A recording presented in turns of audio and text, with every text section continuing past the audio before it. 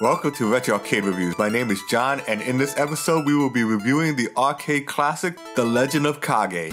And it's Kage, not Cage, despite popular beliefs. Kage means shadow in Japanese. The Legend of Kage is a side-scrolling platformer that was developed by Taito in 1985. The Legend of Kage may have seen a resurgence of interest in the recent years because of the release of a sequel on the Nintendo DS back around 2008, 23 years after the original game. The game wasn't so popular in the 80s. In fact, I knew of only one person who owned an NES copy of the game, and I rarely saw it in the arcades. But I kinda liked the game. It was one of the only games where I didn't feel constrained. The main character Kage can run like the wind, climb trees, has a sword and endless supply of ninja stars, and can jump really high. I mean really high, which sealed the deal for me because the game was amazing.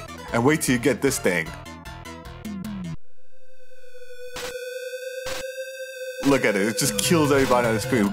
In this game, you play as Kage, who has to rescue the Princess Kiri, who was kidnapped while she was taking an evening stroll in the forest by herself in the middle of the night. You have to fight through five ninja field stages that stand between you and the princess. Prepare yourself though, because when you think it's all over, she gets kidnapped again. And what makes matters worse is she just keeps getting kidnapped over and over again. So that's how the game ends. Now you may look at the game and think, meh, you would be right in your sentiment, but Legend of Kage, I believe, and this is only my opinion, harkens back to a period of the 60s ninja boom. A period that would later indirectly influence the likes of more popular contemporary notions of ninjas. In this period, you would find the works of Noboru Akamoto, also known as Shirato Sanpei, a legendary manga artist who created the famous manga series Kamui, which was originally published in the monthly magazine Garo. Kamui tells the story of a low-born ninja of the Edo period who flees his clan. The manga Kamui has underlying themes of oppression, rebellion, and Marxism, which is no surprise because the publication Garo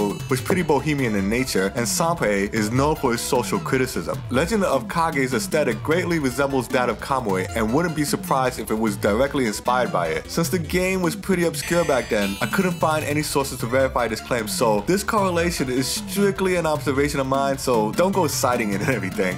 The Legend of Kage is a pretty short game and doesn't have any continues or endings. It just keeps cycling over and over again, but it's not that hard once you get used to it. There have been attempts to revive the series, but to no avail, which is too bad because I think the game has the foundation for a creative overhaul or reimagining. So play the game and let me know what you think.